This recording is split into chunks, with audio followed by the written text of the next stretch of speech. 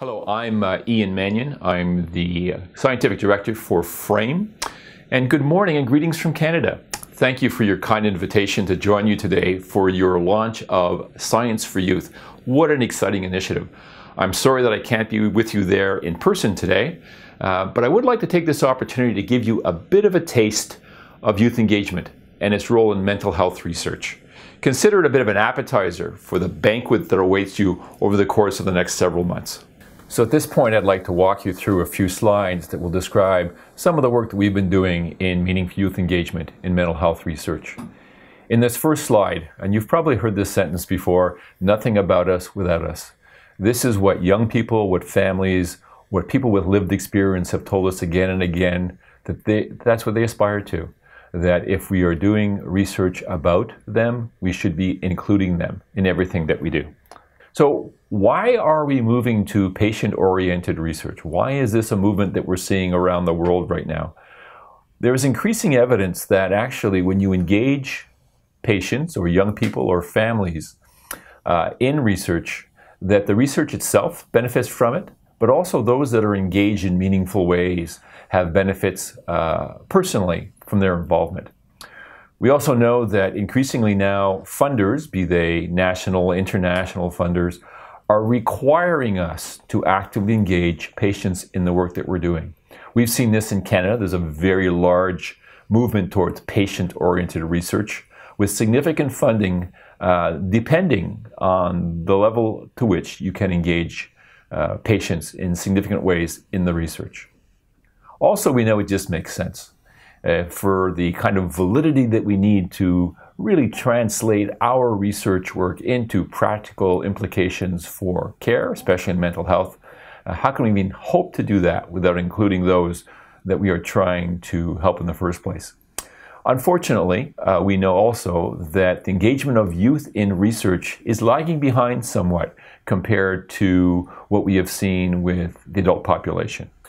So when I mention youth engagement, what are the, some of the key ingredients? Uh, what am I really talking about here? Uh, it, it, involves a number of different things.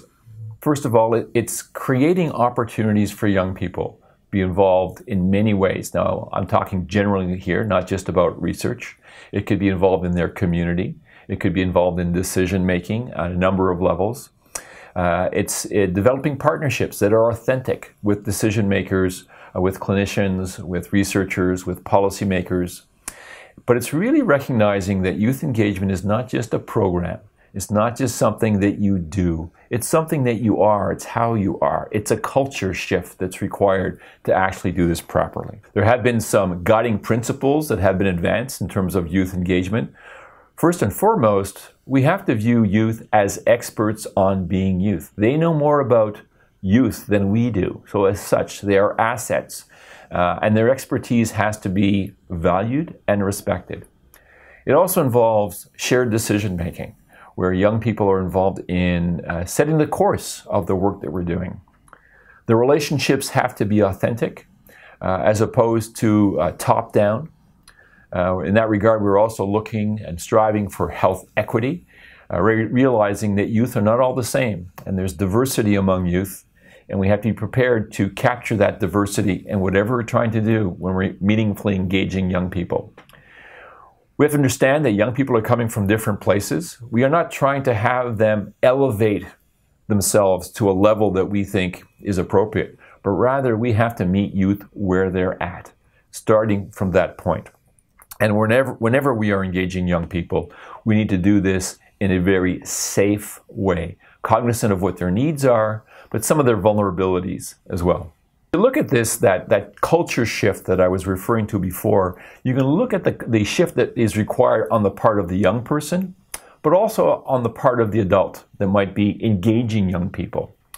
So uh, if you look at the research community, for example, when we talk about youth mental health research, at one extreme, we are looking at youth as the target of our research the subject, so to speak, of our research. And we are the ones that are driving it as adults uh, that may or may not be in touch with the needs of that target audience. As we move up the scale, uh, sometimes we view youth as a resource, uh, maybe uh, participants in our research, maybe gaining uh, insights from them through focus group activity. And, and here, uh, the adults are viewed as still in the lead, perhaps advising to a certain extent. Uh, this has also been labeled pizza research or pizza engagement because young people are often paid by being served pizza or a meal as the only form of remuneration that they receive. Further up, now we view youth as resources where they're actually participating, but probably in a volunteer capacity, where the assumption is that they gain much more out of the experience and they should be happy just participating as a volunteer. Uh, the potential here, though, is for adults to serve as mentors, to begin uh, a process where they're sharing knowledge, sharing experiencing experiences, and developing skills in the young people. Perhaps what we're really aspiring to, though, is that final stage where youth are viewed as decision makers, equal partners, agents of social change.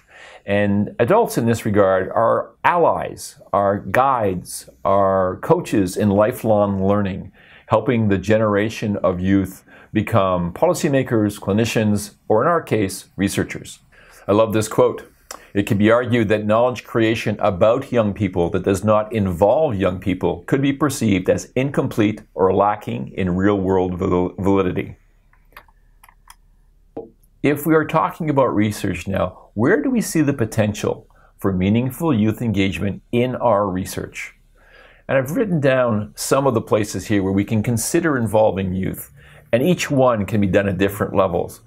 But the front end of research, how are we involving young people to set the research agenda, to identify research questions that are of relevance to them? To what extent are we involving them in our methodology? Uh, do our designs resonate with young people? Uh, do they make sense? Uh, will they be able to engage young people both in the process but in also the outcome of research? Are we involving them in PAR or participatory action research, where the research that we're doing is with them and on them at the same time?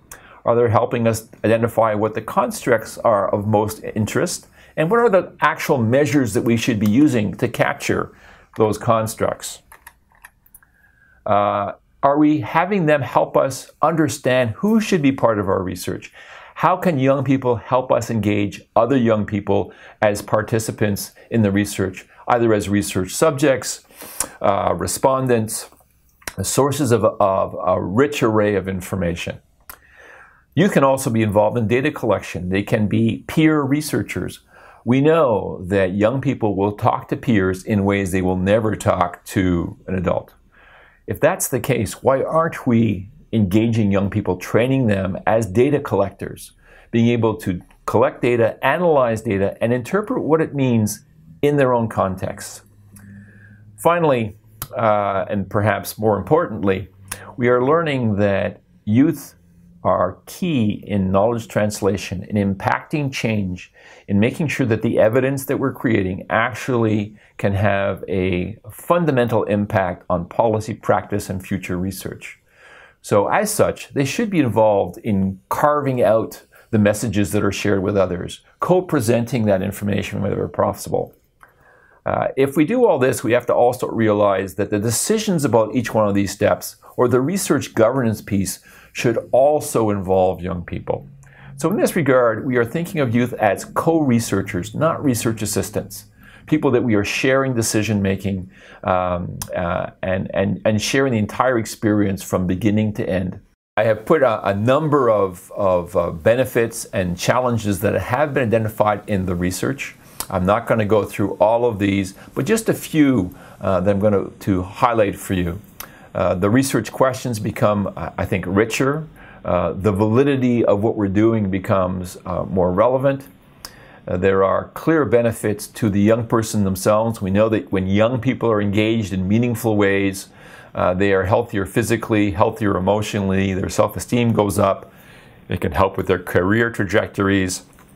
We also know that there are benefits in terms of narrowing the research to practice gap because the research that we do will be much more applied and relevant in nature and much more likely to change things much quicker uh, in the lives of young people.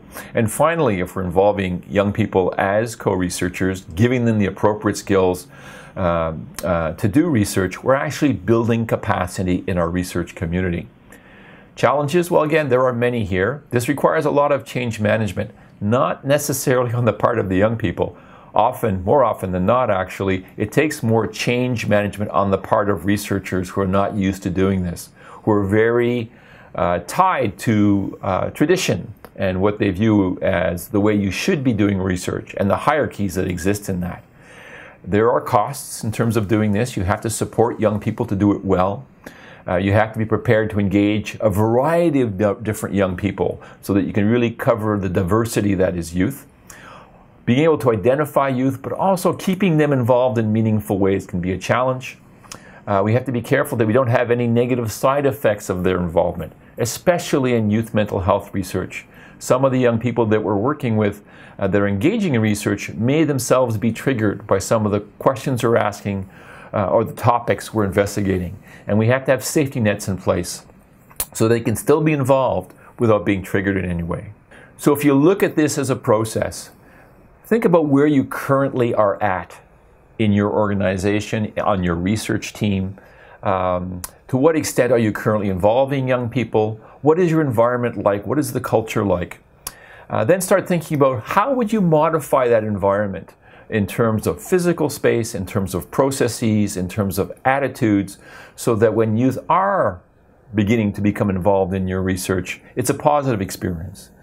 Then it's the big challenge of, of identifying the youth and getting them on board, making it a win win situation, maintaining their interests so that they feel that they are actually going somewhere. And one thing you're going to realize that young people are very impatient.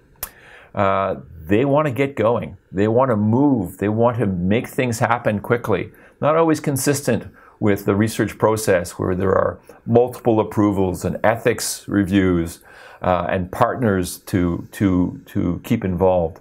And finally, uh, one should consider evaluating the process that you have established for youth engagement. Help all of us in terms of growing the literature about how to do this properly. So the Ontario Centre of Excellence for Child and Youth Mental Health has created a, a toolbox around these issues. Uh, they have actually uh, organized the thinking uh, around the value of positive youth development in, in care, but also in research. And they talk about that co-activate, uh, uh, about co-activation, co-creation, and co-evaluation. Co-activation is that early stage where you're setting the preconditions to make it work. Uh, the change readiness piece uh, preparing your key players to understand how they have to change to make things work with young people. The co creation stage is where you are actually engaging with young people as partners, as co researchers, uh, where you are identifying the questions, implementing the research. And then the co evaluation is where you are looking at what you have created, uh, what the impact of that is, and how can you improve that, probably in a continuous improvement cycle. There are a number of practical considerations to do this well. And, and I believe that uh, where you folks are starting is actually that very first part, part. How do you create greater research literacy or mental health research literacy in young people? Science for Youth is all about that. What are some of the core skills that young people can be trained in to give them the capacity to make a positive and significant contribution to any research project? What's the code of conduct? What are the rules of engagement? And I suggest you have them written down. How should the researchers behave? What are the expectations of youth? Uh, you should be discussing issues such as remuneration and recognition. Uh, will youth be paid for their involvement as researchers? Well, you're paid as, re as researchers yourselves. Uh, what's the value added for the young person? Sometimes that remuneration could be in the form of authorship. Will you include youth as authors on your papers? And if no, why not? Think about co-presenting result findings uh, with young people. We have learned from policymakers that they want to meet the young people. They want to hear the stories matched with the evidence to make a compelling case to change policy and practice. Clear roles and responsibilities about who's going to be doing what, when, and what's the standard expected for every step. How will you foster that culture shift in your organization? How will you hold meetings? Where will you hold meetings? When will you hold meetings? Is it a time where it's difficult for young people to engage? What's your language going to be during these meetings? Your messaging. How will you create meaningful time for young people's voices to be heard? What's your role as a supportive leader? How will you view young people as a responsibility on your part? And you can make a fundamental contribution to their early development and their early research development. Change management for the entire organization. Do you have policies and procedures that will make it difficult for young people to engage? Uh, sometimes a review of that can, be quite revealing in our own organization, we realized that we, we thought we were very progressive until we realized that our financial uh, requirements made it hard for us to actually remunerate youth or even pay for their participation in terms of covering meals and transportations and things like that. We had to change our organizational policies to make that happen. Uh, funding to support engagement, we now build in a component of every budget to support meaningful youth engagement, to be able to hire uh, youth as research assistants, to facilitate their travel, uh, to uh, um, uh, provide them some form of remuneration. And finally, career coaching. It should be an ongoing process. Uh, it's, the project is important, but the long-term trajectory of these young people in terms of their research careers may be actually the, the, the silver lining in all of this. So I'd like to give you a few examples of, of work that we've been doing. Uh, this is uh, this picture is actually of a uh, the International Initiative for Mental Health Leadership that was held in Stockholm uh, earlier this year. Uh, we strategically uh, involved leaders in youth mental health care and in research along with young people themselves. There were actually more young people than there were adults. And we looked at such, such issues as the role of youth engagement in policy, practice, and research. Uh, and it was quite eye opening. And it was fun too. I think you can tell that from this picture. As I mentioned at the very beginning, I'm the scientific director of Frayme. Frayme is an international uh, knowledge uh, translation and exchange network uh, with a, a, clear focus on integrated youth mental health care. We are really trying to uh, find out what we already know about youth mental health care and make better use of it. So part of our work is around identifying evidence, synthesizing that evidence. It's uh, translating that evidence into ways that can uh, uh, facilitate uptake in real life contexts uh, and have that stick through supporting that uh, implementation of practices and scale up of practices across systems. We can't do this without ongoing partnerships without a commitment to ongoing evaluation. So that's really the, the role of Frayme. Uh, we have a leadership team which is international in nature. Uh, many of the people on, on this particular slide are actually also leaders in youth engagement internationally. And, and we're thrilled to have such committed individuals uh, leading our network. It's a large network. We have uh, over uh, 200 partners in over 10 countries, uh, representing participants and stakeholders from over 25 universities. Uh, this is a quick look at our board of directors. We have a youth advisory committee that's called AIM, the advisory that you on youth matters. Multiple funders who also all um, really embrace uh, the commitment that we have to meaningful youth engagement. We also have a family advisory that we believe is as important as our youth advisory in terms of bringing that important perspective to all of our work. So this slide gives you a bit of a taste of our governance structure, and I, and I, think that's important because, first of all, we do have that advisory group of youth, uh, but that's insufficient. To have a, a group that just gives us information is important, but insufficient. We have a youth representation. Actually, we have two youth members on our board of directors, and they're involved in all the decision making. We have a knowledge mobilization committee that are both content and process experts from around the world in terms of, of and, and youth mental health, implementation science, uh, knowledge mobilization. And we have two, actually, we now have three youth leads as part of that knowledge mobilization committee. That committee is the one that makes decisions about funding. So youth have direct impact on who gets funded to do what project as part of our network. Finally, in terms of terms of reference for our youth advisory, those were completely developed by young people. And you see that on the right hand side. It's not intended for to be something that you can read, uh, but uh, uh, tools like this, uh, I'll be more than happy to make available to you so that you can see what's possible in your own context. When uh, I started doing work in youth engagement, it was in the early 90s, and it really wasn't cool to talk about youth engagement back then. And when we started, uh, the building that our program was in was in a condemned building. And the chief financial officer of our organization, this was a quote from him if these were kids in my neighborhood, I would tell them to go play somewhere else.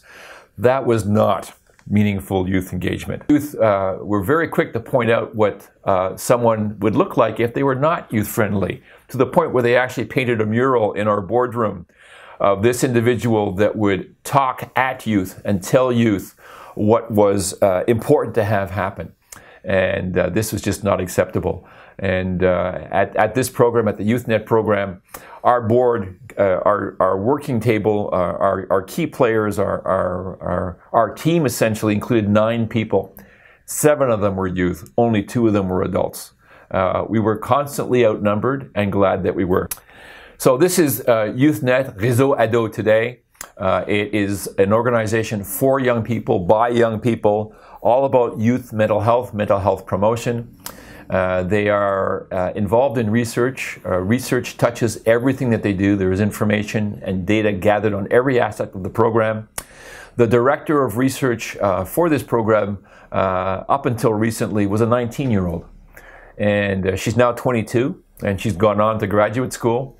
Uh, but he, she's the author of this research report, and I had the privilege of being her research mentor, uh, help guiding her, not direct her, guiding her as she set the tone for what was important to be researched by YouthNet. Uh, the McCain Center for Child and Youth and Family Health at the Center for Addiction and Mental Health has a very significant initiative going on uh, in terms of youth engagement. Uh, they call it YAPS or Youth Adult Partnerships, and this is their model where they see different levels or number of youth that are involved uh, for different aspects of their program. From a knowledge sharing perspective, that's the largest audience. But when it comes down to the decision making, it's a smaller group of youth uh, that are involved in that uh, at a leadership level. Uh, they have published extensively on the work that they've done in engaging youth in research. Here's a, a reference in particular. They also have a number of tools that I'm sure that you can have access to that talks about the do's and don'ts of youth engagement, both in a research context, but also uh, in a clinical context.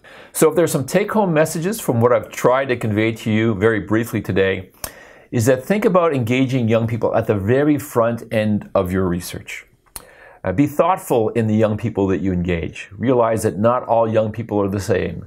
Be deliberate and generous and genuine and strategic in inviting youth in and doing it in a way that makes sense for them, not just sense for you. Be prepared to co create in planning the projects, in doing them, in sharing the information, and sustaining the products of that information. Think about who will be facilitating this in your organization. Clearly, your researchers have a role, but who is a go to person across research projects?